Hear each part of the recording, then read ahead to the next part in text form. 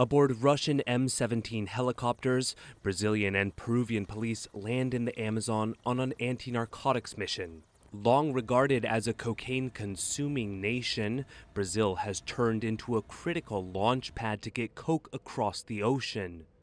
Over the last few years, Brazilian gangs have become some of the top suppliers of cocaine to Europe, transforming the country's role in the transatlantic drug trade at a speed that has stunned anti narcotics authorities.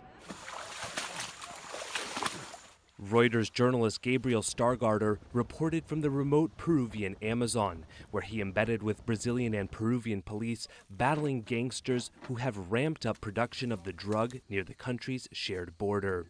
My name is Gabriel Stargardter. I'm a Reuters reporter here in the Amazon region of Peru. I'm reporting from a cocaine lab and kitchen where the Peruvian anti-drugs police have just set fire to the place after raiding in a helicopter. We're surrounded by cocaine bushes, which will later be attended to by a special eradication unit.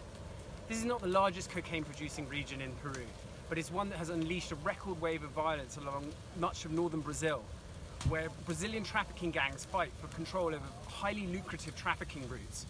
Much of the product produced in the Peruvian jungle enters Brazil by boat along the Amazon River and heads to Manaus, a city of roughly 2 million people. From there, it moves to Brazilian ports, where authorities say record amounts of coke are loaded onto container ships bound for Europe. In Santos, which is Latin America's largest port, one Brazilian customs inspector told Reuters that the drug gangs now use decoy construction equipment, hiding blocks of the white powder in second hand backhoes destined for Europe. But cracking down at the source is a challenge. During the joint anti narcotics mission last year, suspects vanished into the jungle at the sound of approaching aircraft. Police made just three arrests.